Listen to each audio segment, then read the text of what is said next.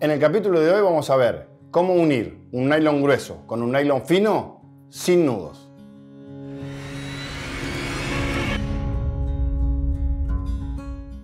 Generalmente, cuando vamos a pescar al mar, en las vacaciones o cuando vamos a usar equipos de lanzar, lo que necesitamos tener en la punta es un nylon grueso, un chicote o una salida o una bajada, como quieran llamarlo. El mayor inconveniente que tenemos ahí es cómo unir ese nylon grueso, ese nylon de salida, con el nylon fino que generalmente utilizamos en el reel o en algunos casos con multifilamento. Hoy en el mar, en algunos momentos, está mejor usar un multifilamento fino donde la sensación de pesca es un poquito distinta, pero es algo que a lo mejor charlamos en otro momento, pero sepamos que hoy existe la posibilidad de cargar riles frontales para pescar en el mar con multifilamento fino, multifilamento del 8, del 10, del 12. Pero a ese equipo en la punta tenemos que ponerle un nylon grueso, tenemos que ponerle un chicote, tenemos que poner una salida. Entonces, ¿cómo hacemos para unir ese chicote, esa punta gruesa, con el nylon o con el multifino que tenemos atrás? Eso es lo que vamos a ver hoy. En primer lugar, lo que yo les voy a recomendar, que es lo que más cómodo resulta, al menos para mí, es usar una salida pegada. Si nosotros vamos a un negocio y buscamos algo estándar, lo que podemos encontrar es una salida que se llama trafilada. ¿Qué es una salida trafilada? Es algo similar, para aquellos que conocen un poquitito más, es a un líder de mosca. Es una sección de nylon que empieza con una punta gruesa, que se va afinando y que termina con una punta fina. Esa salida normalmente tiene 10, 12, 15 metros, en donde tiene el 70% de la parte delantera de nylon grueso, 60, 70 o 80, Después tiene una progresión donde ese nylon se va afinando y termina en una colita más finita de nylon 30 o 35 que es más fácil para atar al nylon del reel. Es importante que entendamos que el final de ese chicote siempre tiene que ser fino. ¿Por qué? Porque si nosotros pretendemos atar un nylon grueso del 60, del 70 o del 80 con un nylon fino del 25, 28, 30 que podemos tener cargado en el carretel, va a ser casi imposible poder unirlo con dos nudos. ¿Por qué? porque va a quedar demasiado desparejo, demasiado proporcionado. El nudo con el nylon grueso va a quedar muy grande y muy voluminoso y para poder igualar ese volumen de nylon con el nylon fino, capaz que lo tenemos que hacer doble y generalmente cuando vayamos a cerrar el nudo, cuando vayamos a cenir, nunca va a quedar parejo, nunca va a quedar haciendo fuerza pareja. Entonces, si no quisiéramos usar algo pegado, tendríamos que usar una descendencia de nylon de medidas. Ejemplo, si yo uso un chicote del 80, tengo que usar el chicote del 80 pegado, atado a un pedazo de 60, el 60 atado a un pedazo de 40, el 40 atado a un pedazo del 35 y el 35 atado al nylon 28 que tengo en el río. Entonces va a ser una sección con demasiados nudos, con demasiados pedazos de nylon y cuanto más nudos tengamos en esa situación de pesca, mayor riesgo de corte vamos a tener. Entonces, lo más recomendable para esa situación es usar una salida pegada o un chicote pegado. ¿Qué es un chicote pegado? Simplemente la unión de un nylon grueso con un nylon fino con un pegatanza especial. De esa forma nosotros vamos a poder evitar toda esa transición de nylon más gruesos, cada vez más finos, con una, una pequeña sección pegada que casi es imperceptible. Ahora lo vamos a ver en detalle, pero esto es un nylon 80 y esto es un nylon 30 nylon 80 que va a ser mi chicote y nylon 30 que va a ser el que yo voy a estar atando a la carga del reel. Todo eso, ¿dónde está unido? Simplemente está unido en una sección de 2 centímetros de un nylon sobre otro pegado con un pegatanza. Lo primero que necesitamos es un aparatito similar a esto. Un portalíneas, un portachicotes, un portasalida, llámenlo como lo quieran llamar. Pero lo que necesitamos básicamente es una estructura que tenga un pedazo de goma, un poquito grueso, que esté acanalado de los dos lados y que nos va a poder permitir anclar el nylon fino con el nylon grueso para que quede los dos tirantes, los dos juntos, sin espacio en el medio, y nosotros podemos poner el pegatanza por encima del nylon para unir los dos nylon. ¿Es necesario que tengan exactamente esto? Por supuesto que no. Para aquellos que conocen un poco, cuando me voy de vacaciones uso esto. Cumple la misma función, porque en definitiva este pedazo de goma que está montado sobre una maderita y que entra en el bolsillo de un bolso es ni más ni menos que las gomitas que se utilizan en un portabrazolada. Desarmé un portabrazolada, lo, le saqué la goma y lo pegué sobre una tablita. Entonces, si me voy de vacaciones, me llevo esto en el bolso y si tengo que pegar salidas, utilizo eso. No necesito usar este grande. Y si no tienen ninguna de estas dos cosas, simplemente con un pedazo de madera y un pedazo de goma eva de un centímetro de grosor, pegan uno de cada lado, le hacen un tajito para que puedan entrar los dos nylon y con cualquiera de estos tres van a tener una tabla para pegar salidas, una tabla para pegar chicote. Entonces, si lo quieren hacer, busquen la vuelta, consigan el elemento y pónganse a practicarlo. Lo que a mí me gusta tener, en principio, es todos los chicotes ya preparados y ya cortados. Entonces, corto la cantidad de metros de nylon grueso, corto la cantidad de metros de nylon fino y armo este tipo de rollitos. ¿sí? Vamos a simular que estos dos rollitos son en nylon fino y en nylon grueso en el chicote. La precaución que tienen que tener cuando lo empiezan a armar es que el nylon fino siempre tiene que ir abajo. ¿Por qué? Porque si ustedes ponen el nylon grueso abajo, cuando quieran calzar el nylon fino, al tener el nylon grueso más apertura, puede ser que el nylon fino cuando llegue arriba tenga un poquito de juego y no quede bien trabado, no quede bien anclado. Entonces es muy importante que los dos nylon queden bien tirantes y bien anclados. Entonces empezamos con el finito. Supongamos que yo acá tengo un chicote de 5 o 10 metros, lo que quiera, después vamos a hablar de eso. Lo que yo hago particularmente es un nudito siempre en la punta, tanto del nylon fino como del el nylon grueso. ¿Para qué hago este nudito? Bueno, para que cuando yo lo vaya a calzar en, el porta salidas y lo tire ahí, yo puedo, una vez que está calzado, tirar de costado y que el nudito se me trabe en uno de los extremos. Entonces, ¿qué va a hacer esto? Va a evitar que por algún accidente o por algo, la salida se corra mientras se están pegando y mientras se están fundiendo. Una vez que tengo el nylon fino, hago lo mismo con el nylon grueso.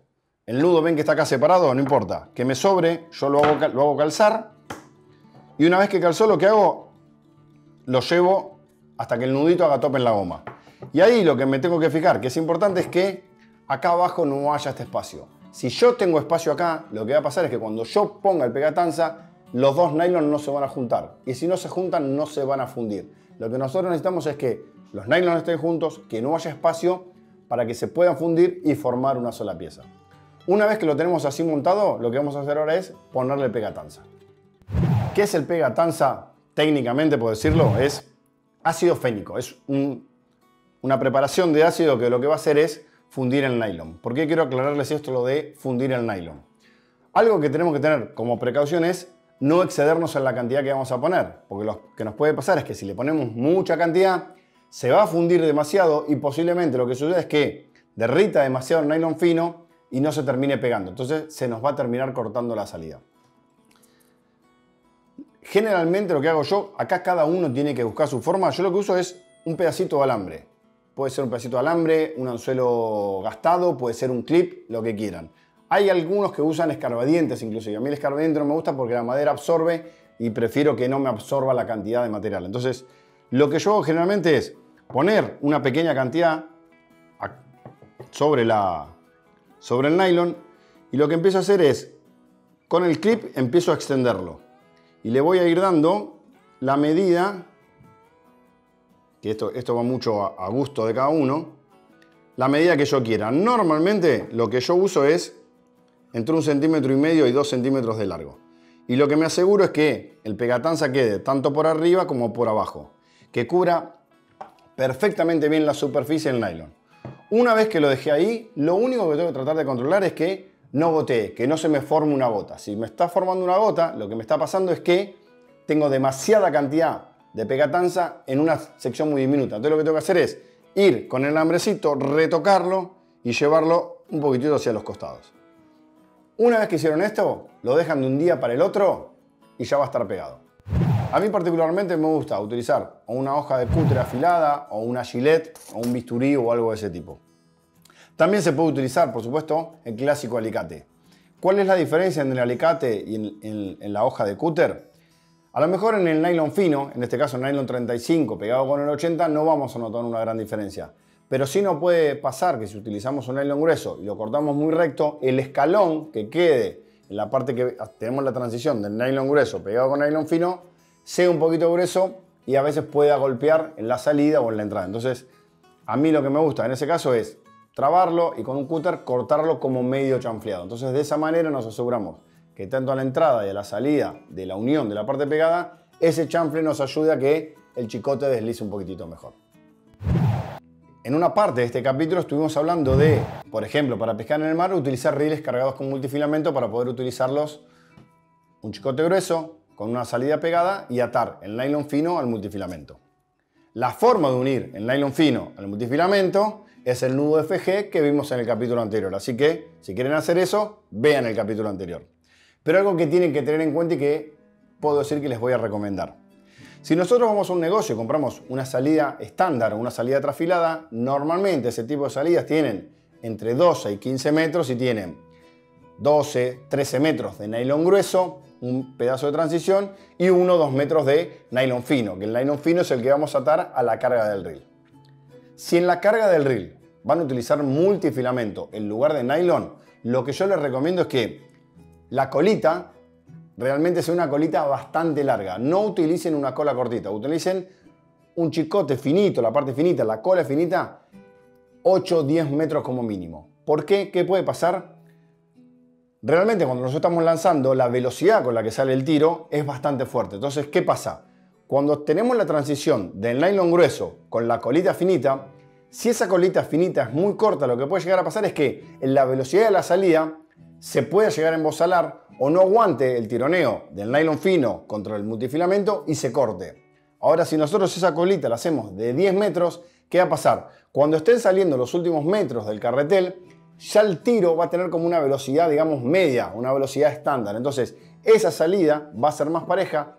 Lo que va a hacer es arrastrar esa unión de la colita con el multifilamento a la velocidad estándar, a una velocidad normal. Entonces, ese traspaso no va a ser tan rápido. Con eso que vamos a evitar que después de dos o tres tiros cortemos. Y créanme que se corta. Entonces, es importante que si van a hacer eso, utilicen el chicote grueso de la medida que quieran, pero una colita de la medida que quieran suficientemente larga para que eso no les pase. A los que siguen técnicas y tutoriales, a los que me preguntan, a los que me ven, muchas veces me van a ver con este aparatito. Este aparatito es un micrómetro. Si bien es de los viejos, no es digital, nada, es para, para medir a ojo. Para determinadas situaciones yo lo utilizo y es importante. ¿Qué hago con eso? Con eso realmente mido cuánto miden los nylon. ¿Y a qué me refiero que mido cuánto miden? Muchas veces, cuando nosotros compramos un nylon estándar, este es un nylon 33 que viene de origen, cuando yo lo medí en mi casa tranquilo, este nylon da 37. ¿Hay mucha diferencia en un nylon 33 a un nylon 37? En determinadas pescas realmente sí. Aquellos que siguen técnicas y tutoriales, como para poner un ejemplo, alguna vez me vieron hacer una pesca de sardinas al vuelo. En esa pesca nosotros usamos un pedazo de nylon de 2 metros de nylon 35, de un color, un metro de otro color, un metro de otro color. Entonces tenemos distintas uniones para poder saber a qué profundidad estamos pescando. Bueno, si nosotros esos pedazos de nylon que estamos uniendo, que estamos pegando, no tienen la misma medida, puede ser que en el momento de la pesca un nylon ceda más que otro y se nos corte la línea. Entonces es importante que sepamos que todos los pedazos de nylon que estamos utilizando sean realmente de la misma medida. O por ejemplo, nosotros queremos hacer una colita de nylon 35 que compramos para atar con nylon 25 del reel y resulta que el nylon 35 que compramos, cuando lo medimos, mide 40. Y atar un 40 con un 25, parece que no, pero no es lo mismo que atar un 35 con un 25. Son pequeños detalles, son pequeñas diferencias, pero cuantas más herramientas tengamos para poder corregir esos detalles o para poder corregir esos errores, mejores resultados vamos a tener. ¿Qué resistencia tiene que tener el nylon para pescar determinado pez? Para que quede claro, cuando nosotros vemos un carretel de nylon y tiene una resistencia en kilos, esa resistencia en kilos no hace referencia ni al peso de plomo que vamos a tirar, ni a la fuerza que vamos a hacer, ni al tamaño del pescado que vamos a levantar. ¿Qué significan esos kilos? ¿Qué identifica? Eso es la resistencia por metro que tiene el nylon. ¿Qué quiere decir? Si yo agarro un nylon X que aguanta 10 kilos, es que si yo agarro un metro de nylon, le cargo un peso de 10 kilos y lo estiro, lo voy a levantar. Si yo le pongo 14 kilos cuando lo quiera levantar, el nylon no va a aguantar y se va a cortar. Entonces, interpreten que cuando un nylon resiste cierta cantidad de kilos, es la resistencia a la tensión y al corte que tiene ese nylon. Que no tiene nada que ver con lo que vamos a pescar. Pero sí nos sirve para tener una referencia. Entonces, a ver, por ejemplo, si yo estoy tirado en el agua y mi compañero me agarra con un nylon 30 y me arrastra, yo estoy flotando y con el nylon 30 me va a arrastrar. Y yo peso más de 80 kilos. Entonces, La resistencia del nylon no tiene nada que ver con la pesca que vayamos a hacer. Es más que nada para que tengamos una noción en un momento máximo de tensión qué tipo de elementos estamos utilizando. Hay mucha diferencia entre usar nylon finos y usar nylon gruesos.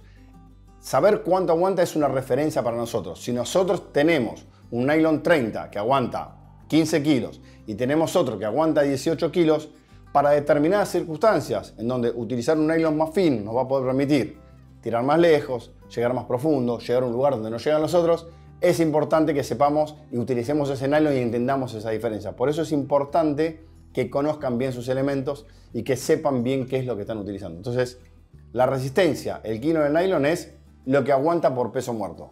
¿Nos sirve como referencia? Por supuesto, podemos saber que dos nylon de la misma medida, uno aguanta más y uno aguanta menos. Pero eso no nos va a indicar ni nos va a condicionar el tipo de pesca que podemos hacer con ellos.